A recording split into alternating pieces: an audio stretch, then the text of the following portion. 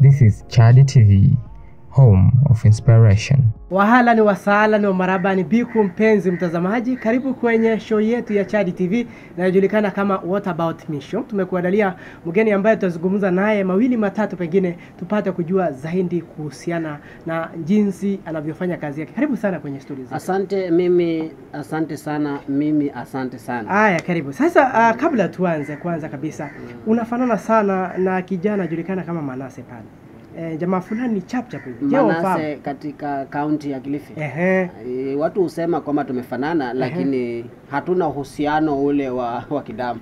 Okay. E, yeye na mimi ni marafiki lakini hatujafanana kidamu. Kwa hivyo Kwa hivyo ni ile kufanana tu kufanana tu kwa sababu Ah, asante sana kabisa. Kabla tuanze, pengine utizame ile kamera, wasalimie mafanzi wako na wale watazamaji wa Chadi TV katika lugha yako ya nyumbani, wakaribishe kwenye mazungumzo hapa. e, kwa sasa ni saa sita eh? na katika lugha ile yetu tunasema mzasindazi alafu kuzasinda simaya nanwi kuzasinda It's a long discussion lakini ni nzuri kwa sababu una- unajua kumfahamu mtu vizuri najua unajua nimeshinda vizuri sijui na wewe umeshindaje sasa nakueleza ukitoka pale unajua kabisa yule binadamu yuko namna gani so hivyo ndivyo tunasalimiana nikiwa mchana na Okay. Hivi wewe bwana, tuseme eh, una majina mengi sana ambao unafahamika naye pale mtaani. Hebu tuambie hayo majina yote. Ah, mimi kwa majina yangu nilipozaliwa naliitwa Kasena. Kasena ni jina ambalo ni la tunasema katika Kimijikenda ni, ni, ni jina la, la kimama eh, as in, kwa, kwa lugha yetu tunasema Rache Magoma. Unazaliwa unapatiwa jina pale na nikaitwa Kasena. Katika ukoo kuna majina ya ukoo na ya mbari. Mimi ninaitwa Masha. Mimi katika mtandao ninajiita Frank Thoya. Hilo ni jina ambalo mtandaoni linajua. Na of recently watu wananiita Papaman. You see? Yeah, wananiita Papaman kwa sababu ya ile the nature of the work ambayo ninaifanya saa hizi. Tuseme kweli, pale unajulikana kama ambassador wa Blue Economy. Je, hilo ni jina ama ni title? Ah, pengine kwa sasa unaweza kuwa isa brand mm -hmm. Unalipewa tu kwa sababu ya ile nature ya kazi unafanya. Kwa hivyo ile jina wewe kanjipea ama kapewa? No, mimi sijajipea. Hiyo ni majina watu walikuwa wanasema, sasa utakuwa ambassador, utakuwa ambassador, utakuwa papa ambassador, utakuwa blue economy. Sasa hiyo hiyo concept ya blue economy kwa sababu papa anatoka baharini.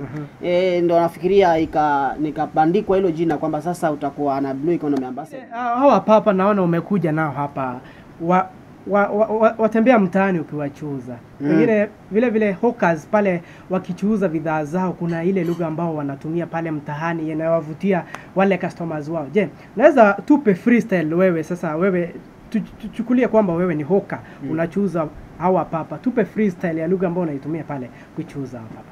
Nauza papa. mm -hmm. Ni hivyo tu. Ni nikufate nikwambie ninakuuzia papa. mm -hmm. nakuuzia mboga ya sima.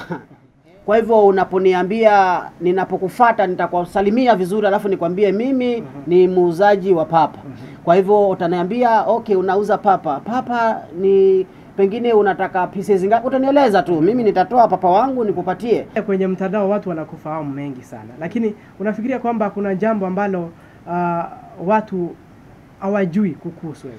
mimi niko na taaluma tofauti tofauti sikuamka tayari nikasema ninauza papa no before hata papa nilikuwa nikifanya vitu fulani mimi ni event planner mimi hufanya upambaji Unaonekana kwamba wewe ni kijana mchapakazi sana. Ah, na hapa duniani tuko na uh, changamoto kubwa sana kuhusiana na suala la ukosefu wa ajira ama kwa kimombo unemployment. Je, jambo hilo unalitafsiri kivipi? asante kwanza kwa kuona hiyo haja ama hoja ya kusema ni mchapakazi Ah, uh, ni jambo la kushabikia na nasema asante kwa sababu umeona ile juhudi inayofanya. Mm -hmm. swala hili la ukosefu wa kazi uh, limekuwa ni donda sugu kwa watu. Na ninataka niamini kwamba kazi ziko na kazi hufanywa. Principle moja ya university ni kwamba ukitoka university ucreate job opportunities. Na not, not even seeking job opportunity. So unatoka kule unakuja unatengeneza mandhari ya kuajiri watu kazi ni swala la, la ukosefu wa kazi limekuwa ni watu wanalibeba tofauti kwamba hakuna kazi lakini ukiangalia hivi kuna timbo mahali umenelewa umenielewa lakini huyo kijana kwa sababu amesoma kuenda pale kufanya ile kazi ya timbo inakuwa shida Inakuwa shida. inakuwa shida Kwa sababu umesoma, umeenda pale shule. mm. Eh, lakini baadaye uliamua kuuza papa. mm. Je, ni kwa sababu ulikosa kazi ama ilikuwa it's your dream job sana it was an, I think idea ambayo nilikuwa naifikiria kwa muda mrefu sana not, not even kukuza papa mm -hmm. but it was like what next mm -hmm. what different mm -hmm. ni kitu gani naweza kukifanya tofauti ambacho kinaweza kikashika watu immediately mm -hmm. na kikawa za brand or something very interesting nikasema mimi nitaanza kuuza papa Papa. So nikafikiria sasa papa nitamuzaje? unajua? Alafu nitamtoa wapi? Mhm. unajua si kitu ambayo ilikuwa niko nayo katika maisha. Well nimeshapenda papa nimekuwa nikinunua pieces but sikuwa nafikiria hii ni kazi ambayo nitakuja nifanye baadaye. So nikasema nitauza papa. That was on a friday. Then nikasema well huyu papa nataka nimuuze tofauti mimi. Nataka nifikirie jinsi nitakavyomuuza in one week time kila mmoja wao anakula papa hii kenya. if not kilifi. Ehe. So so so nikasema well let me just use my IT kind of a thinking hii mambo ya social media. Nikasema before hata ninunue papa let me test waters. Nitaingia kwa mtandao nitasema frank as from monday atakuwa anauza papa. And remember by that time sina pesa sina papa. But nimesema let me just keep a post. Nione reaction itakuwa namna gani. so that friday mi nikaiandika pale. Nilipoiandika and it was overwhelming i didn't I understand why. What is all this? Nasema, frank niletee pisi kumi. Ah frank hawezi fanya hiyo kazi but unamjua frank. Well mimi i've been working with some other organizations like Yeah. btl mm -hmm. bible translation literacy I'm an intern kule so sisi tuna translate biblia. So kazi mimi hapana. Na nimeitwa kwa mikutano mikubwa mikubwa Mikubwa. nikitumwa na organization ku represent. Sasa saa hizi huyu mvulana ndiye anaenda anauza papa. Ah itakuwaje? Hizo orders zikawa nyingi. And then sasa nikafikiria nitatoa wapi mia tano maana niliambiwa kilo moja ya papa ni mia tano. By that time okay. Kumbe mwenye aliniambia naye alikuwa ananiambia makosa. It was a, a kg goes for 600 shillings. So I had five uh, tafute mia tano. So nikapigia anti yangu nikamwambia i just needed like 500 shilling kwa sababu i want to sell fa- shark. Ah, hapo awali ume, umetuelezea kwamba pale kwenye mtandao uliwaomba uliwarai watu si kwamba ni lazima. Yes. Je ni kwamba unadukuduku dukuduku ama shaka kwamba vijana sio rahisi kupeana support kwa vijana wenzao. Naamini okay vijana wanaweza kuwa na hiyo tabia ya kutopenda kuembrace kitu. Unaona? Si wote by the way. Kuna watu wata embrace chenye unafanya watashukuru. By the way it's not a culture for the african.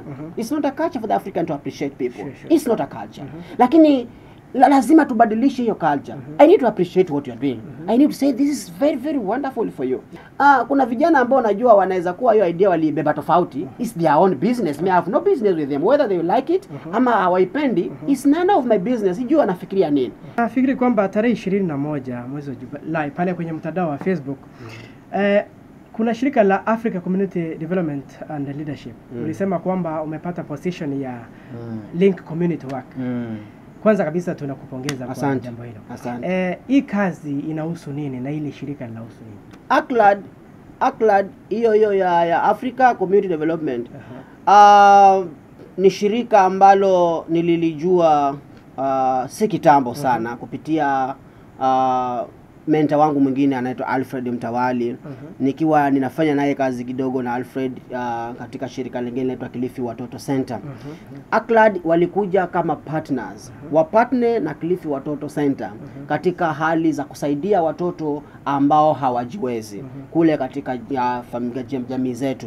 So kazi kubwa ambayo uh, tulikuwa tukifanya before hata Aklad wakuje ilikuwa tunazunguka katika maboma za watu. Tunaangalia watoto ambao wanahitaji mahitaji fulani especially kusoma na kuwapeleka hospitali na na kufanya vitu kama hivyo Huyo ni Frank Loya, mpenzi mtazamaji. Tunaenda kwa mapumziko mafupi, tutarejea kwa muda usiokuwa mrefu. Endelea kutizama Chadi TV. Mpenzi mtazamaji wa Chari TV, karibu kwenye awamu ya pili ya What About Me Show. Leo tuko na huyu mgeni wetu Frank Dhoya na tutaendelea kuzungumza naye tupate kujua zaidi kuhusiana na masuala yake. Ah, bwana Dhoya, hivi wewe unafanya mambo na decoration eh, kama kanzo sawe pale na unaufahamu ule msemo wa jack of all trades. What do you mean by that? Ah, jack of all trades ni kama mtu anajua kila kitu uh -huh. so wengine wanasema sasa kila kitu unajua aha, huku unajua kuuza papa aha. kui, kui, kui, kui, kui, kui, kui advertise hiyo hiyo kazi yako pia nayo wajua kuandika kwa mtandao unaweza andika novel nzima. Uh-huh. ukifanya hivi nikamwambia ah, hivi ni vitu ambavyo mimi mwenyewe na mimi sijui vinatoka wapi. Uh-huh. ili mradi kama ninyi mnaona chenye nakifanya ni kizuri uh-huh. basi acha nikitilia mkazo nikifanya kwa uzuri. Kwa hivyo si kwamba hati najua kila kitu. Katika hiyo hustle ya, ya, ya kupamba tuseme decorations kwa lugha ya kimombo kwamba tuelezie hiyo kazi unaifanya kivipi eh, unapata event kama ngapi hivi eh, na pengine unafanya pia kazi ya MC pale kwenye zile events ambazo unafanya kupamba kila wakati unapopata hiyo nafasi Sadakt, asante sana kwanza ukweli wa mambo ni kwamba hizi kazi ninazifanya nyingi uh-huh. na hii hii decoration farm ndio imenifanya mimi nijiingize kule chuo kikuu uh-huh. hiyo ndio inanilipia mimi fee yangu uh-huh. na uh, kuwa MC na kuwa. E, nishai officiate shughuli nyingi uh, kujaribu kuzungumza uh, maneno yale ya kufurahisha na kupamba mhm. kwa sababu ni event. Hivyo Yes. basi tuseme kwamba kwa mwezi au mwaka unapata event kama ngapi Nyingi. kweli wa mambo ni kwamba ni nyingi kwa sababu tuko na miezi fulani ambayo sisi ambayo uh, kazi zinakuwa nyingi. Mwezi wa nne kwa sababu ni likizo shughuli ni nyingi. Mwezi wa nane kwa sababu ni likizo shughuli ni nyingi Hebu turejelee suala la papa, na namuona hapa papa mzuri huyu eh. Mm. Wewe unafurahia papa wa kupikwa namna gani? Wa kukaangwa ama ule aliyekaangwa na nazi? Yupi mtamu? maana huyu unaweza kumkula tofauti eh? Mhm. unaweza kumweka nazi mm -hmm. kumchoma, mm -hmm. mpika na mabiringanya na mabenda Mm -hmm. huyu ukapika mboga yako vizuri kama ni ni, ni, ni, ni mnavu kando hivi mhm, ukaleta hii mnyama hapo uh-huh. unakula huyu mnyama unaweza maliza kilo nzima ya sima usipoangaliwa vizuri huyu uh-huh. e, unakula sana uh-huh. ni mnyama ambaye anakulisha sima kwa sababu yuko na chumvi yake uh-huh. na ile chumvi nalijaribu kufanya research nione kama akitoka baharini kama yuko na chumvi yake uh-huh. ukweli wa mambo ni kwamba huyu samaki akitoka baharini huwa hana chumvi e, ni samaki tu kawaida uh-huh. lakini unapomkula yuko tasteless kiasi uh-huh. lakini uh, ile preservation kwa sababu lazima awekwe chumvi. Maana akitoka pale huwa ni mzito iko na maji mm -hmm. na lazima ya maji yawe ya withdraw. Yeah. kwa hivyo ana, anawekwa chumvi kidogo. Uh, yule in mathematics na chemistry fulani hapa ukiwa hujachanganya vizuri atakuwa na chumvi nyingi. Kweli. si kwa sababu hata alitoka baharini na chumvi zake. Aa, ni mwenye alichanganya ndiye alifanya mnyama awe na chumvi nyingi. Lakini ukipata yule ambaye ameelewa hii kazi vizuri anachanganya chumvi na, na unaweza kumkula huyu hata saizi. Unaona hii kizi.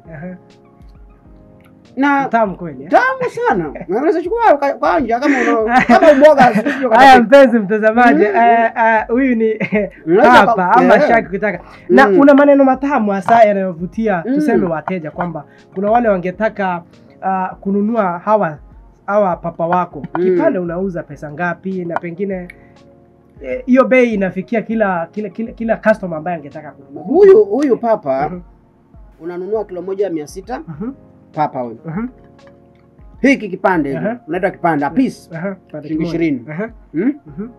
na kuna wale anasema nataka nusu of Mhm. course nusu ni kama 15 pieces tu mhm, so it's 300 shillings mhm, so so so ni, ni, ni kulingana na uwezo wako.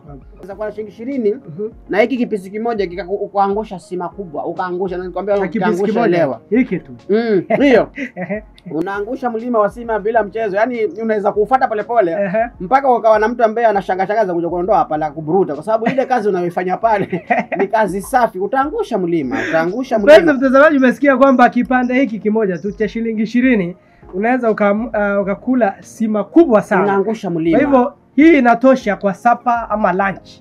nakwambia unaangusha mlima. uh -huh. Yaani ule wakati, na hii haina masaa maalum hadi sijui mpaka saa ngapi ndio ule. Asubuhi unaweza amka hii tayari unaweka rangi yako hapo, uh -huh. ukachoma hii ukaweka pale na mahamri yako, uh -huh. unakula vitu vingi, yaani inakupatia appetite nyingine kubwa uh -huh. na na inakusaidia pia kwa sababu it's an immune system booster. Mhm. Hii una afya yako inakaa salama, yaani hautakuwa ni mtu akutatizika kutatizika tatizika, na hapo una- unakunywa maji all the time, na huu mwili unapenda maji, so Mhm. wakati unakunywa hii Mhm. unakula vizuri, hii hii inakupatia room nzuri ya kuekelea maji kwa siku na unakaa vizuri. Hawa papa wako unawatoa wapi, ama una yule mtu anakusupply, ama kuna wakati pia wakati unaweza pata shortage of supply, unakuwa na plani gani? Hebu tuelezee. Hawa papa wanatoka kule baharini na kuna area nyingine inaitwa Gongoni. Mhm. Okay, niseme karibu kila mahali papa anaweza patikana, lakini kule ambako anavuliwa ana, ana, wavuvi wale wanavua papa kwa wingi Mhm. Gongoni, Mhm. hizo area za Gongoni ndio mimi huwa nachukua kutoka kwa a second person, si mvuvi ni mtu ni mchuzi ambaye anaenda ananunua alafu ananipigia simu mi naenda nachukua nakuja nauzia watu na kwa sasa kusema ukweli huyu mnyama hapatikani saizi hapatikani kwa sababu uh, kuna baridi. Kuna misimu fulani huyu mnyama ambaye huyu mnyama huwa anapatikana kwa wingi. Uh, fika mwezi wa sita na wa saba pale kuna baridi kali wavuvi hawawezi enda kule deep sea wakavua. Na tunasikitika juzi kuna wavuvi wengine walienda na wakadrone kwa hivyo ni, ni, ni wakati mgumu sana. So utamkuta hapatikani.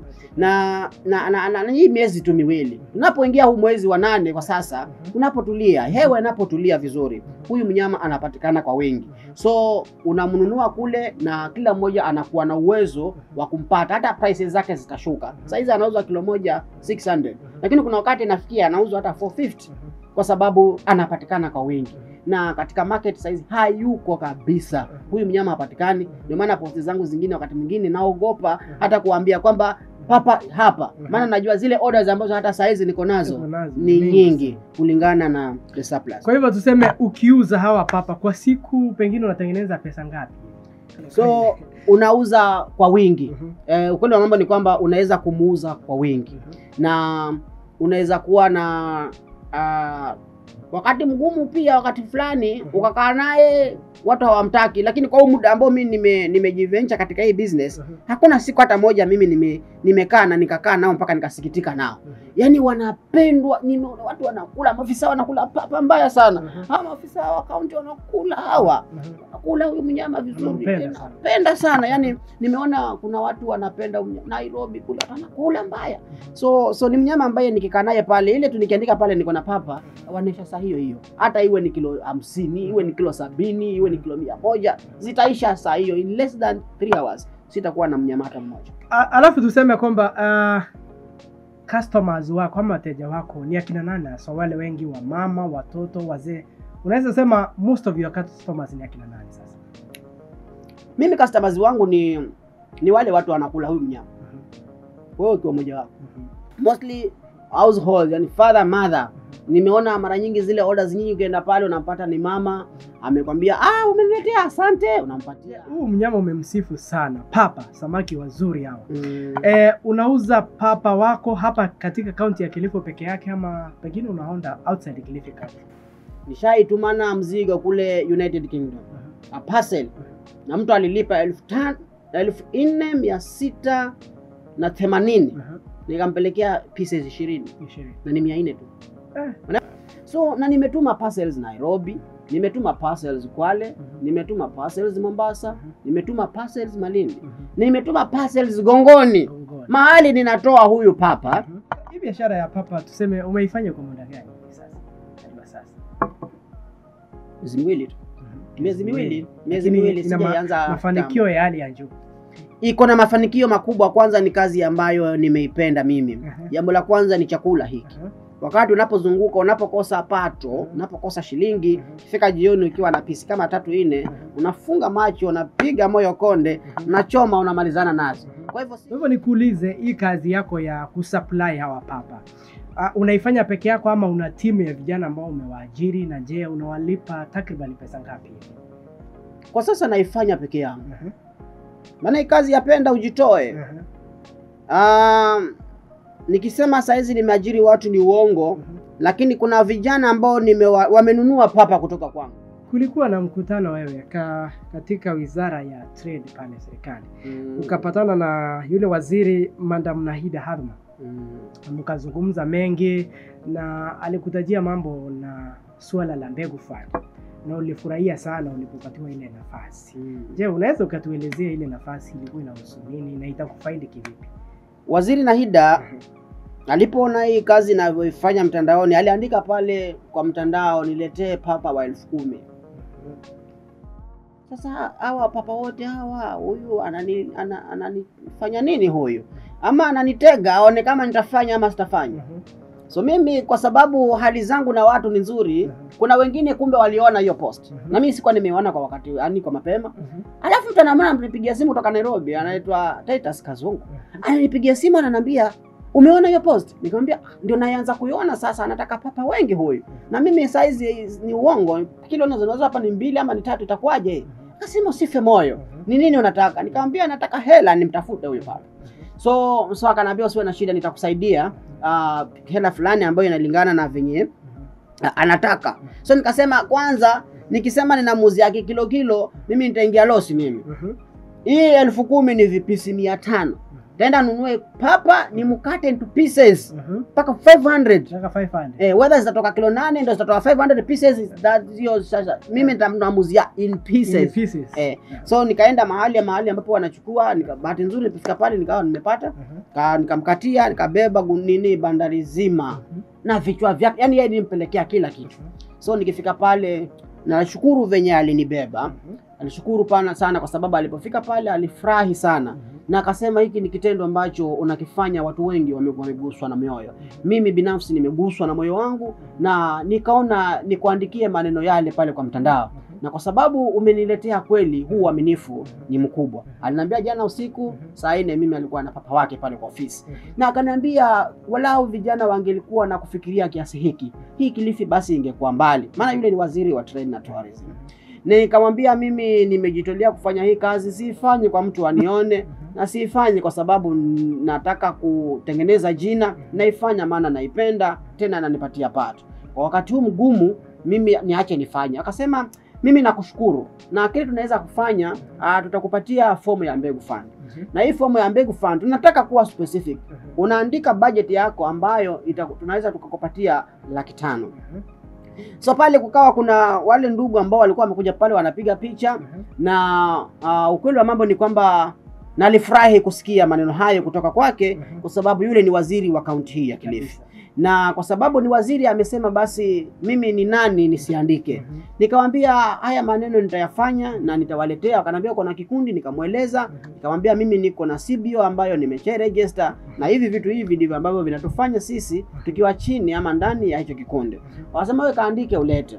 So uh, kwa sababu ya ya ya, ya hizo hali ambazo venye zi- zinakaa nikamalizana na yeye wak- wakanipiga okay wakanipatia form na usiku ule ndo nikapata hizo hali ambazo hazikuwa nzuri sana kwa sababu baada ya kupatiwa bahasha na nilikuwa najaribu ku- kukataa kataa kidogo isipigwe picha kwa sababu unajua kuna wale watu wanafikiria kwenye bahasha pengine wamewekwa pesa nyingi na uh, ikaleta alam kwa watu.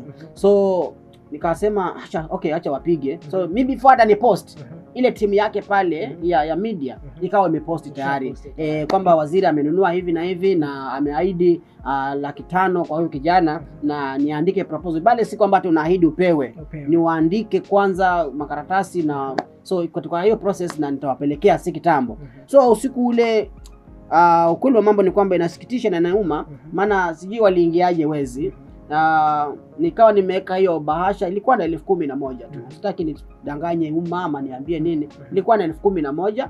Elfu kumi ilikuwa ni ya papa wale ambao nimesha supply pale fif- nini 500 pieces. Na elfu moja alikuwa anasema hiyo elfu moja ni tikiti yako na pengine ukunywe maji kwa sababu huzunguka sana. So nikashukuru. Haikuwa pesa ile ambazo watu walikuwa wanafikiria.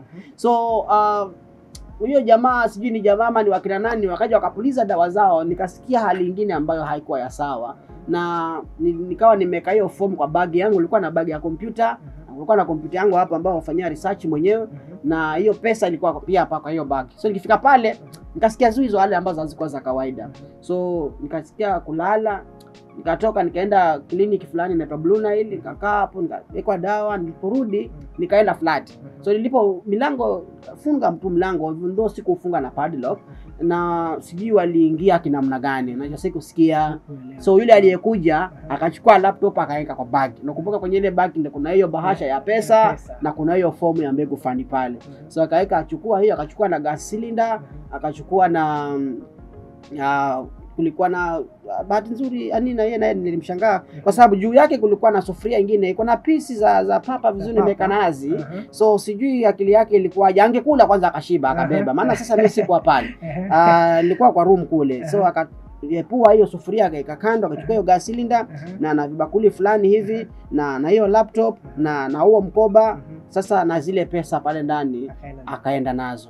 Na wallet yangu ilikuwa nimeweka tu juu ilikuwa na elfu mbili hata hiyo wallet hapo juu Ah, akaenda akatoa vile vikadi zangu zote mm -hmm. uh, kwa gate ya serials board mm -hmm. akachukua karatasi nyeupe hivi akaekelea juu ya jiwe mm -hmm. akachukua zile kadi zangu zote za shule za, za national na, na zile ATM cards akaweka juu juu ya karatasi mm -hmm. na yeye akapotea na hiyo wallet na pesa so, kushirikiana kwangu mimi na Nahida waziri ni kwa sababu ya hiyo. Na tena baadaye akasema kuna programs ambazo wanataka kuzifanya. Well waliniahidi kwamba wanaweza wakaniweka kama a role model a youth ambaye nitakuwa najaribu kuzunguka ku train youth on the I mean, idea formulation.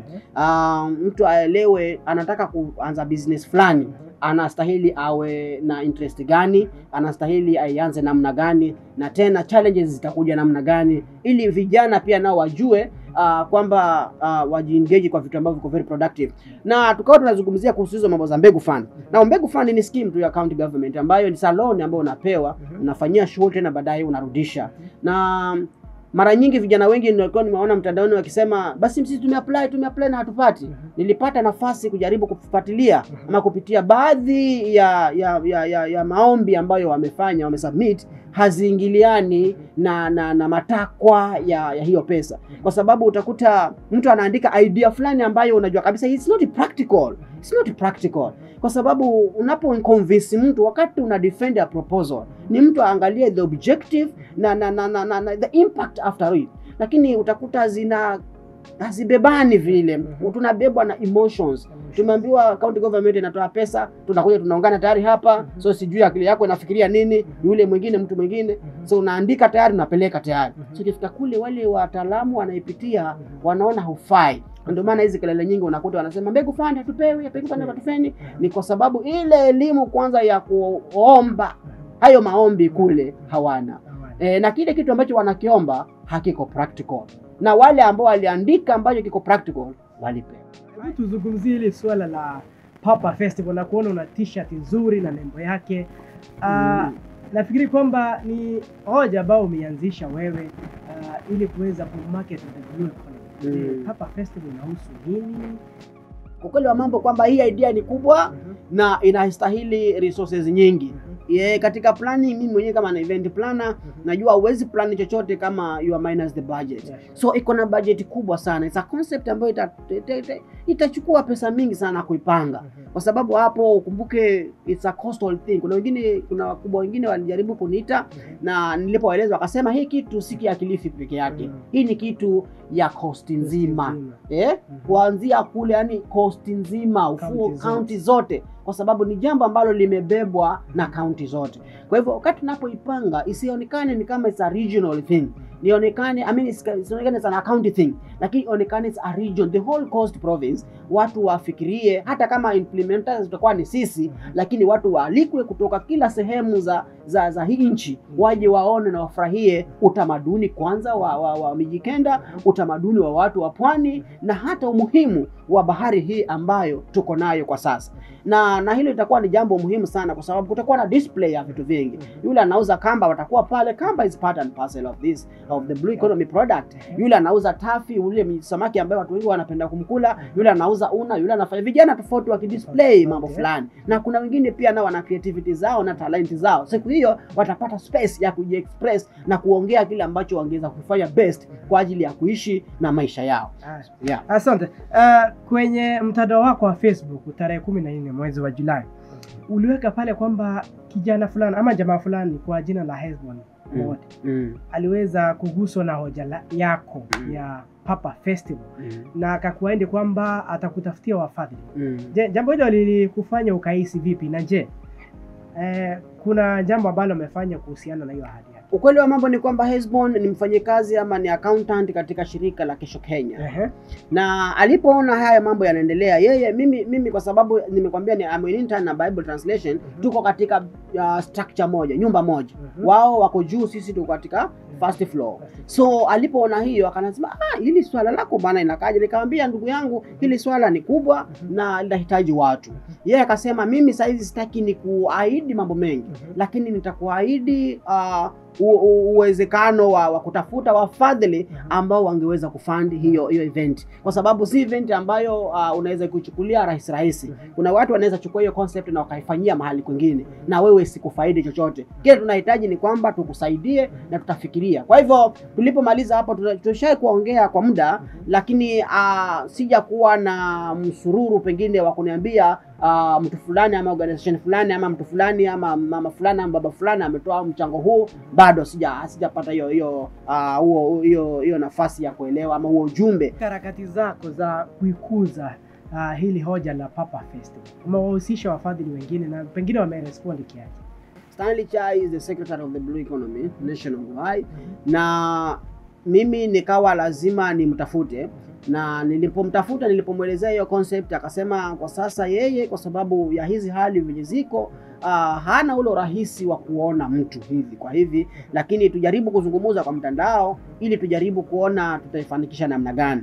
Niliwasilisha hoja hiyo kwake na bado najaribu kusubiri majibu na inanikalia ngumu kiasi cha kuwafata watu sasa mmoja mmoja, kwa sababu the world is big na sijui ni nani ana interest gani. Mara nyingi huwa anafata maorganization tatu kwa mtandao kuangalia ni core values ama ni thematic areas gani ambazo pengine wanaweza jiingiza ndani. Maana hili ni wazo ameweza kulipelekea kwa kwambia sisi katika shirika letu hatufanyi vitu kama hivyo. Swala nzima la Papa Festival litaonyesha ama kufundisha watu kikwetu. Yeah. Unasema kwamba wamejikenda wanania ama wana ile tabia sana ya kufunza watu kikwao, lakini wao wenyewe wazingatii. Je, inakuwaje? Mara nyingine huwa ni ni shida kubwa wazo unaweza kuwa nalo lakini kuna hofu na uoga na uchoyo na fitina na vitu mingi ambavyo tumejazana navyo kwa moyo. Sana idea yako ikiwa kubwa, nikikuona nini kama utafanikiwa, mimi roho yangu nikiwa na uchoyo na beef, sitaweza ichukulia na manani. Na mpenzi mtazamaji, huyo ni Frank Dhoya, nakuambia jamaa mchapakazi, jamaa wa majina mengi, jamaa wa nyadhifa nyingi na kazi nyingi, na maneno yake ya busara zaidi. Tunapumzika hapa kwa muda mfupi tu, tutarejea hapo baadaye. Endelea kutizama Chandi TV. Karibu mpenzi mtazamaji kwa awamu ya tatu ya kipindi unachokipenda cha What About Me Show. Uh, tunaendelea kuzungumza na mgeni wetu hapa Papa man, man mwenyewe Mm. Papa Festival ana nyadhifa mingi sana. Frank Dhoya, uh, mkurugenzi mtendakazi wa Papa Festival, vile vile mwanafunzi, vile vile muuza papa. Eh, hivi unajiona wapi in the next five years? I have a dream and I had a dream and this dream must come true. So saizi niko na ujuzi tofauti tofauti, unaona, niko na ujuzi naweza peleka gari, naweza yani, okay, kuna mambo mengi ambayo naweza fanya, ni kwa sababu ya ile ndoto ambayo niko nayo. And what I need is I want to see a society free a society that is free ambayo inaweza ikajisustain yenyewe. Mtu akiamka asubuhi, watu wajifanyia shughuli zao, vijana wamekuwa engaged Wengine tunaweza sema mafanzi wako wangetaka kujua Frank ameoa, girlfriend ama yuko single. Uh, I cannot betray my girlfriend. I have a very beautiful girlfriend. Na nampenda sana. I love the lady. Amenisaidia sana. Uh, she's very very loving and uh, I really love the lady. So that is the lady I'm going to get married to. And uh, this was to be done. Hopefully was next year. Immediately after my graduation, I was to graduate everything. Naam, ah, ukitizama kwenye ile kamera tupe jin, eh, jambo lako ama your, word, your last word kwa jamii yako, kwa mafanzi wako na kwa vijana wenzako. Uh, I would say ama naweza sema kwamba it is very positive and very possible uh, for a young man to remain relevant. In a society a society that does not realize the potential of their young people is lost. And uh, we need to remain relevant as youth. We have uh, what we can do and let us believe in what we are thinking. Unajua idea yako ni idea yako build your idea stay in your lane uh, simama na useme this is the youth i want to be. You only have a choice to make. You either decide ufanye vizuri ama ufanye vibaya. Uwe tajiri au maskini. Ufanikiwe ama you become a burden completely in the society. So this one goes directly to the youth kwamba we can what uh, we can do what we want only if we decide eh? na tuamue kwa moyo. To the community i just want to embrace the community kwamba now we are living in the community we should learn to live and by the community. So then tukuwe watu ambao uh, in a society tunaweza tukakubalika. Mimi nikikubalika kijana mwingine pia naye akubalike kijana mwingine akubalike and that is the growth of the society. So by so doing i would love to say thank you very much and i know for sure kwamba kuna kijana somewhere kuna mama somewhere kuna baba somewhere ambaye pengine in one way or the other has something to put on please go for that that belongs to you and you will succeed Naam, asante sana mpenzi mtazamaji kwa kutizama Chandi TV. Huyu alikuwa Frank Dhoya, nakwambia kijana mchapakazi na aliye na maneno ya busara. I know you have been inspired by that particular story. Uh, nilikuwa wako host Morris Mkulima. Tupatane wakati mwingine kama huu, panapo majaliwa yake Mwenyezi Mungu Subhanahu wa Ta'ala. Hii ilikuwa What About Me Show on Child TV. Kwa heri.